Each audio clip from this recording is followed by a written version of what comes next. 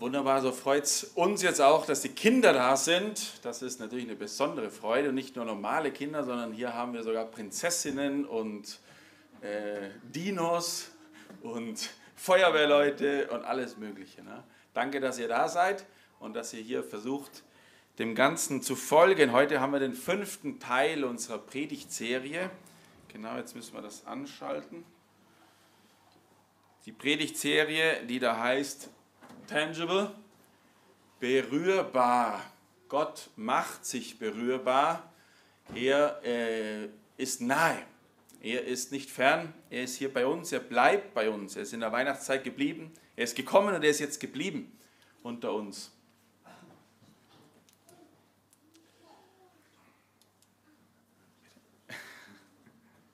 Ah, okay.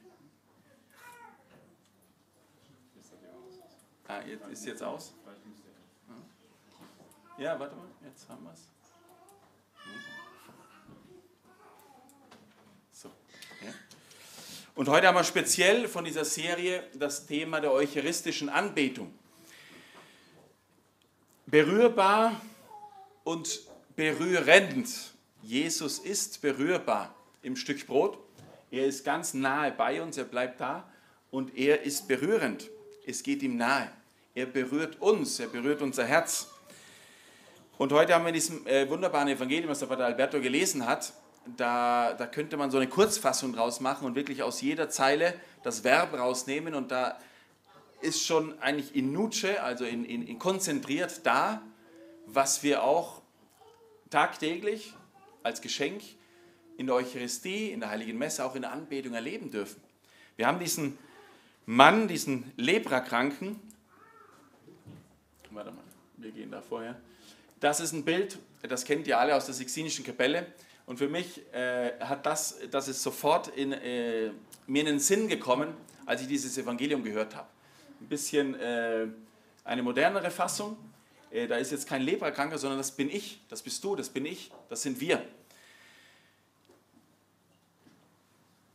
Da gibt es den Menschen, der da liegt, der Hilfe braucht und die, die Verben, die wir hören aus dem Evangelium, ist, er kommt, er kommt zu Jesus. Er streckt sich aus. Er bittet um Hilfe. Er gesteht sich seine Krankheit ein. Er fällt auf die Knie. Er weiß, dass er liegt, dass er, dass er Hilfe braucht. Und er sagt dann diese wunderbaren Worte, wenn du willst. Nicht weil ich will, sondern wenn du willst. Ich, er fordert nicht ein Wunder, sondern er erbittet und vertraut auf die Barmherzigkeit. Und Jesus hatte Mitleid mit ihm. Und er streckt die Hand aus und er berührt ihn. Und er sagt, ich will, werde rein. Neuschöpfung. Wir sind schon da, aber wir merken, wir sind schwach, wir merken, wir sind sündig, wir merken, dass wir Hilfe brauchen. Und Jesus berührt uns und sagt, werde rein, werde neu, fang nochmal von vorne ein. Und er schickt den raus und sagt, gib Zeugnis von deinem Leben. Bitte tu mir einen Gefallen, geh nicht hin und verkünde es allen, was Gott an dir getan hat, sondern gib Zeugnis mit deinem Leben. Aber gut, der gute Mann war voller Eifer und war voller Freude und man kann es ihm wirklich nicht verdenken, denn wenn du sowas erlebt hast, dann musst du einfach den Mund voll nehmen. Und äh, dieses Bild, dieses paradigmatische Bild, dass Jesus letztendlich so weit ging, dass er den Aussatz des Mannes an sich genommen hat und selbst sozusagen aussätzig wurde und sich einsam zurückziehen musste und nicht mehr in der Gesellschaft weilen konnte. Ein Bild, für die berührbare und die berührende Eucharistie in unserem Leben. Was hat es jetzt mit dieser Lepra auf sich? Hier ist irgendwas, ein Bildchen für die Kinder. Die Lepra, das war eine fürchterliche Krankheit. Vielleicht können wir es uns ein bisschen besser vorstellen aus den letzten Jahren, mit, die wir erlebt haben selber, wo du, wo du wirklich körperlich, aber auch vor allem auch zwischenmenschlich, psychologisch, existenziell gezeichnet warst. Also das ist wirklich, ich glaube, es, tut, es, es, es hilft, sich da wirklich mal mehr reinzudenken und zu sagen, wie wir es im, im, in der ersten Lesung gehört haben, da gab es die Möglichkeit, dass an dir Krankheit festgestellt wurde, wurde und du dann sozusagen ausgeschlossen wurdest. Du wusstest, oh, das ist der lebendige Tod. Ich verfaule am lebendigen Leib. Ich werde ausgestoßen. Ich kann nicht mehr bei meiner Familie sein. Ich bin allein. Ich brauche Hilfe. Man muss mir Essen bringen, wenn überhaupt. Heute haben wir wenigstens, zu der Covid-Zeit hatten wir noch Handys und Bildschirme und konnten uns verbinden und konnten miteinander reden und konnten weiß was. Aber das war damals alles nicht. Und noch viel tiefer, die Lepra war schon immer auch ein Bild, ein, ein, ein, ein Zeichen, ein Gleichnis dafür, was äh, auch die äh, spirituelle, auch die Geist, auf in geistlicher Dimension, was es da an Lepra in uns Menschen gibt. Nämlich wenn das Herz befallen ist, wenn die Sünde eindringt, wenn der Egoismus Raum einnimmt, wenn wir von innen her zerfressen werden und der Ort der Entscheidung, mein inneres Herz, wo Jesus äh, irgendwann mal im Evangelium sagt, aus dem Herzen kommt alles Gute und alles Böse natürlich. Dieser Ort, dieser, dieses Herzstück von unserem Sein ist befallen. Das war das Bild für die Lepra damals. Also wenn schon das Körperliche so schlimm ist, das Zwischenmenschliche, Psychologische, wie steht es erst um denjenigen, der Lepra an der Seele und am Herzen hat? Und in gewissem Sinne haben wir das alle. Und Jesus weiß das. Und deshalb gibt er uns die Chance, und im Evangelium haben wir es gesehen, Jesus kommt auch durch unser Leben. In irgendeiner Form hast auch du, aber auch ich, die Chance gehabt, wie diese Aussätzige, mit Jesus in Berührung zu kommen. Und ich möchte euch äh, hier ähm, eine, eine, ein, eine, einen, einen kleinen Ausdruck, äh, wie sagt man, einen kleinen Ausschnitt erzählen. Ihr wisst alle, oder ihr wisst es nicht alle, aber vielleicht einige schon, dass mein Vater verstorben ist, äh, vor nicht allzu langer Zeit vor ein paar Monaten und er ist recht plötzlich verstorben. Es war, äh, war überhaupt nicht vorhersehbar, er war nicht krank und es war in einem Moment äh, irgendwo, der insgesamt für uns als Familie, für die Mama und für uns alle als Kinder, das war sehr, sehr segensreich, sehr speziell. Und nämlich, äh, es war bei einer Marienprozession, die er selber organisiert hat. Er hat noch die erste Station vorgebetet. Hat gesagt, Jesus wurde zum Tode verurteilt, wird zum Tode verurteilt und hat dann noch äh, kleine Betrachtung gehalten und Ehre sei dem Vater und dem Sohn und dem Heiligen Geist, wie im Anfang, so auch jetzt und alle Zeit. Und jetzt gehen wir in Stille weiter, hat er gesagt. Und dann ist er umgefallen und ist gestorben. Zum Tode verurteilt, aber nicht mehr notwendigerweise selbst das Kreuz auf sich genommen, sondern er konnte dort abgeholt werden von der Mutter Gottes an einem Marientag, äh, Fatima-Prozession im Gebet. Das als nur als Einstieg. Aber was ich erzählen wollte, sein Leben war gezeichnet und ich möchte diese Geschichte von ihm hier hernehmen, weil auch er war, ähm, er war ein Lebe Lebemensch, er war bekannt überall. Äh, bei der Beerdigung kamen über 1000 Leute, über 20 Priester. Das war äh, ein wirkliches Fest auch. Und das war ein Zeichen dafür, wie er sein Leben gelebt hat. Und es gab einen Wendepunkt zur Hälfte seines Lebens. Er war ein guter Mensch, aber war noch nicht mit Jesus in Berührung gekommen.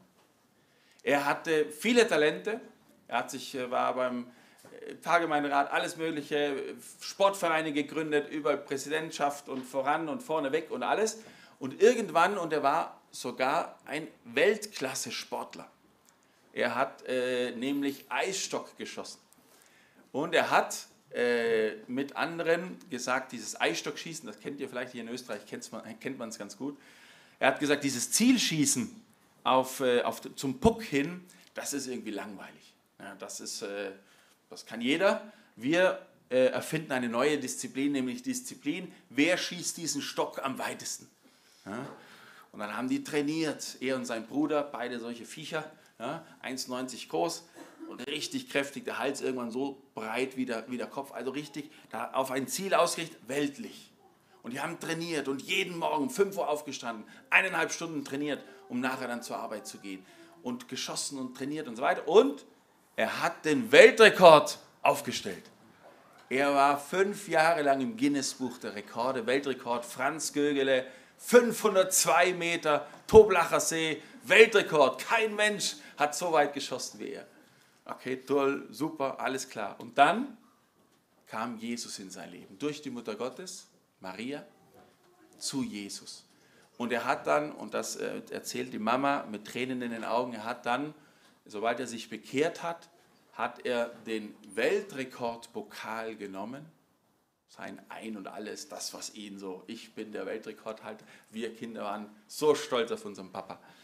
Und dann hat er den Pokal genommen und hat ihn vom Sockel genommen und hat die Marienstatue draufgestellt und gesagt, ab sofort ist das das Zentrum meines Lebens. Und durch die Mutter Gottes zu Jesus in der Eucharistie. Er hat Entscheidungen gefällt. Er hat sich heilen lassen. Er wurde berührt. Er hat gesagt, ich habe verstanden, dass ich Hilfe brauche, dass ich eine Richtungsänderung äh, äh vollziehen will. Tägliche heilige Messe, 35 Jahre lang, ohne Ausnahme. Mit der Mama immer, jeden Morgen in die heilige Messe. Und er hat sogar gesagt, Gott hat mich vorbereitet. Ich habe trainiert, 5 Uhr aufgestanden. Er war dann, er war dann sozusagen, äh, er hatte diese, diese Gewohnheit, jeden Morgen halb sieben zur Heiligen Messe. Es war ein leichtes, weil Gott ihn schon vorbereitet hatte. Aber es brauchte eine Entscheidung. Es brauchte, äh, wie der Leprakranke heute, diesen Moment, wo er sagt, ich gehe zu Jesus. Ich brauche Hilfe. Ich möchte irgendwas verändern. Ich wurde berührt und es lässt mich nicht kalt. Deswegen hier dieses Bild vom Strand. Ich weiß, ihr kommt gerade aus dem Urlaub. Ähm, weiß nicht, wieso der Urlaub ist, als Großfamilie oder als Familie. Ja? Aber äh, was, ich, was ich mit diesem Bild einführen möchte, ist dieser Prozess oder dieses Konkretwerden. Wie kann ich mich denn, wie kann ich mit Jesus in der Eucharistie in Berührung kommen? Wie kann ich geheilt werden? Du musst dich zuallererst aussetzen. Es ist interessant, das Wort aussetzen. Wir setzen Jesus in der eucharistischen Anbetung aus und wir setzen uns ihm aus. Gemeinhin könnte man vielleicht meinen, wenn man sich jemandem aussetzt, dann wird man ausgenutzt. Dann wird man vielleicht sogar geschlagen, dann wird man weiß nicht was. Aber sich Jesus aussetzen ist das Beste, was wir tun können. Mein Vater auch da wieder, er hat sich ihm ausgesetzt und er hat äh, mit der täglichen Heiligen Messe irgendwann auch mit meiner Mama vor 15 Jahren, über 15 Jahren schon eine ewige Anbetung ins Leben gerufen. Und äh, da hat mir von Anfang an, hat er gesagt, äh, wenn, dann müssen wir die Männer begeistern. Wenn, dann müssen wir, wir brauchen 168 Männer, weil es sind 168 Stunden in der Woche. Wir brauchen 168 Männer, weil die Frauen, die kommen sowieso, die sind sowieso da, die sind uns immer voraus die sind gerne beim Herrn. Die geben uns Zeugnis. Aber wir Männer, wir müssen gefordert werden. Wir wollen gefordert. Und deshalb war er vor allem hinterher und hat da, äh, Gott sei gepriesen, durch die, die, die Erfahrung, die er selber gemacht hat in der Anbetung, sich auszusetzen, das möchte ich auch anderen ermöglichen. Das muss möglich sein. Sich Zeit nehmen, Nein zu sagen, auch Dingen, die ich dann lassen muss äh, ich weiß, und wir wissen alle, dass das nicht leicht ist, dass es diese Zeit vermeintlich oft nicht gibt. Aber Jesus die Zeit zu geben, zu mir zu sprechen, die Sonne zu scheinen, mich bräunen zu lassen, mal einfach nur da zu sein, die soll es geben. Die muss es irgendwie geben, sonst sterben wir eh. Ohne Sonne und ohne, ohne Licht und ohne Kraftquelle sterben wir eh. Deswegen und dann kurzen Schwenker dahin, sich aussetzen. Äh, Mutter Teresa, wunderbares Beispiel. Wir kennen sie vor allem die aktive Nächstenliebe. Das Mitleiden, das sich solidarisch zeigen mit anderen. Aber was hat sie zuerst gemacht und was ähm, fordert sie auch von ihren Mitschwestern immer wieder ein? Mindestens zwei Stunden Anbetung in der Früh. Am besten drei. Vor dem Herrn da zu sein, sich aufzuladen, gebräunt zu werden, sich auszusetzen, um dann mit Kraft, mit einer Botschaft, mit einem verwandelten Herzen rauszugehen, mitzuleiden, existenziell was zu bringen, den Menschen wahrzunehmen, zu berühren, sich zu solidarisieren. Es nützt nicht von ferne dann hinzuschauen und zu sagen, ah ja, puh, dem geht es jetzt nicht so gut. Ne? Uh, der bräuchte, oh, der, oh, Gott sei Dank geht es mir gut. Ne? Eine echte, sich, wenn man eine Erfahrung gemacht hat, berührt worden zu sein von Jesus, dann, dann beinhaltet das dieses ausgesendet werden. Wir haben es heute auch im Evangelium gelesen. Der konnte seine Freude gar nicht mehr halten. Der musste raus. Der nimmt wahr. Selber auch die Menschen wahrnehmen, die untergehen. Aber, und da komme ich wieder, äh, wieder zurück zu uns. Wir haben es heute gelesen, um Hilfe bitten. Wann hast du das letzte Mal existenziell wahr und auch im Vertrauen, mit einem, mit einem großen Vertrauen auf Jesus gesagt, Jesus, hilf mir. Ich brauche deine Hilfe. Wenn du willst, dann kannst du mich reinmachen. Ich vertraue dir, äh, wie der Petrus, wenn er untergeht ne, und sagt, ich, ich, ich habe es gemerkt, ich kann es nicht alleine. Ich brauche deine Hilfe. Da gilt es vielleicht öfter, um diesen Schritt zu machen und um, um Hilfe zu bitten, gilt es vielleicht, die Scham zu überwinden. Die Maske, meine schützende Hand, das, was ich vielleicht, ah, ich kann das nicht loslassen, ich schaffe es gar nicht, um Hilfe zu bitten, das vertrauensvoll zu benennen. Wir haben es gelesen im Psalm heute, zweiten Psalm, wo es dann heißt, da bekannte ich dir meine Sünde ich verbarg nicht länger meine Schuld vor mir, mein Gesicht hinter meinen Händen. Ich sagte, meine Frevel will ich dem Herrn bekennen und du hast die Schuld meiner Sünde vergeben. Du hast gesagt, ich will, werde rein. Deswegen Botschaft auch heute, nicht nur politisch, sondern vor allem existenziell eucharistisch. Du kannst das. Yes, you can. Steig irgendwo ein in diesen Prozess, den wir da versucht haben, ein bisschen zu skizzieren, zu sagen, Gott möchte seine Hand ausstrecken, auch dir gegenüber. Der Ball ist bei dir, bei uns. Schaffe ich Zeit? Vertraue ich? Gehe ich auf Jesus hin? Werfe ich mich äh, den, auf die Knie vor ihm in der eucharistischen Anbetung? Strecke ich meine Hand aus, beziehungsweise bitte ich um Hilfe? Yes, you can. Lass dir helfen. Vertraue auf Gott. Das ist das Beste, was du tun kannst. Mein Vater hat seine Hand der Mutter Gottes gemacht. Er war äh, äh, für mich, für, uns, für viele von uns ein großes Beispiel und Zeugnis, denn er ist, äh, hat sich an die Hand nehmen lassen. Als Lebemensch, als gestandenes Mannsbild. Ne? Wofür brauche ich Hilfe von irgendeiner Frau oder äh, von irgendeinem Wesen da? Aber er hat es gemacht. Er hat sich führen lassen. Und es war für mich wunderschön zu sehen, dass er im im Laufe seines Lebens an der Hand der Mutter Gottes vor allem dann zu Jesus geführt wurde. Ja, in die Eucharistie, in die Anbetung, stundenlang, in die, auch in, ins Sakrament, in die Beichte. Yes, you can too. Du kannst das auch. Diese tiefste innere Heilung ersehnen, erbeten, Gott die Chance geben, das auch wirklich zu vollziehen in mir irgendwo in diesen Prozess einzusteigen, ähm, egal wo. Vielleicht bist du schon ein fleißiger Anbeter, dann vielleicht dort nochmal bewusst auszusprechen, Herr, hilf mir, wenn du willst, heile mich bis tief drin. Vielleicht kannst du mit Anbetung noch gar nichts anfangen und sagst, puh, was ist denn das überhaupt?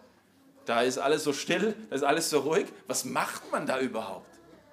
Dann kann ich dich getrost beruhigen, sei einfach da. Da fällt mir die Geschichte ein von meinem Freund, dem Christian. Der, hat, der hatte eine Arbeitsstelle und hatte immer mittags von 1 bis 2 Mittagspause. Und immer freitags, er war dann Mittagspause immer dort in der Kantine beim Essen mit allen anderen. Und freitags war er immer weg. Und sein Chef, der mit dem Glauben nichts am Hut hatte, hatte, wo, wo gehst du da eigentlich immer hin? Und dann sagt er, Chef, du wirst es nicht glauben, aber in dieser Stunde am Freitag, da gehe ich immer zu meinem anderen Chef. Und der sagt, hä, du hast noch eine Arbeit oder was? Er sagt, nee, ich, ich zeig's dir, wenn du willst. Ja, okay, bin ich, bin ich. Dann ist der Chef mal mitgegangen und er hatte immer die Anbetungsstunde von dieser Anbetung, die mein Vater organisiert hat, hatte immer am Freitag von 1 bis 2. Da hat er gleichzeitig gefastet und gesagt, gut, dann gehe ich in die Anbetung. Und dann hat er den Chef mitgenommen und dann sagt er, gut, er hatte so ein bisschen mulmiges Gefühl, weil der, was mache ich? Ich meine, ich habe keine Ahnung, was das jetzt mit meinem Chef macht. Und dann sind die rein in die erste Bank und dann äh, halt einfach in der Stille gebetet, sich ausgesetzt dem Allerheiligsten. Und nach zehn Minuten schaut er so rüber, so, ja, der war immer noch da, der Chef. Und immer noch, ja. Und dann, äh, und dann irgendwann hat er gesehen, dass er, dass er doch irgendwie berührt und dann liefen ihm die Tränen runter. Und dann so, was ist jetzt los? Ne? Und nach der Stunde sind die gemeinsam raus und der Chef sagt, ich habe keine Ahnung, was da jetzt passiert ist, aber erzähl mir mehr. Ja, unglaublich. Der hat, der, der, die mussten die ganze Stunde nichts, nichts reden. Je, einfach nur vor Jesus sich hinzuknien, hat alles bewirkt, um überhaupt wunderbar ins Gespräch zu kommen. Auch du auch dich möchte Jesus immer wieder neu erschaffen. Auch dich möchte Jesus durch und durch heilen. Auch dich möchte er stärken. Auch dich möchte er ja, zu einer wirklichen Neuschöpfung führen. Auch dich möchte er, wenn du dich berühren lässt, wirklich berühren. In der Anbetung. In der Anbetung ist der Ort oder ist einer der privilegierten Orte, um zur Fülle zu gelangen, zur Heilung zu gelangen, zur echten Fruchtbarkeit zu kommen. Gelobt sei Jesus Christus.